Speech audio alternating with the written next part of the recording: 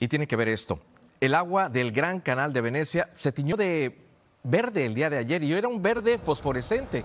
La mancha apareció en el canal que conecta Campo San Luca con el canal Grande y poco a poco se fue extendiendo por el resto de los canales. Aún se desconoce el origen de lo sucedido y la policía está investigando. El incidente recuerda las protestas de grupos ambientalistas que han coloreado monumentos, como cuando recientemente tiñeron de negro con carbón vegetal la icónica Fontana di Trevi, esto en Roma.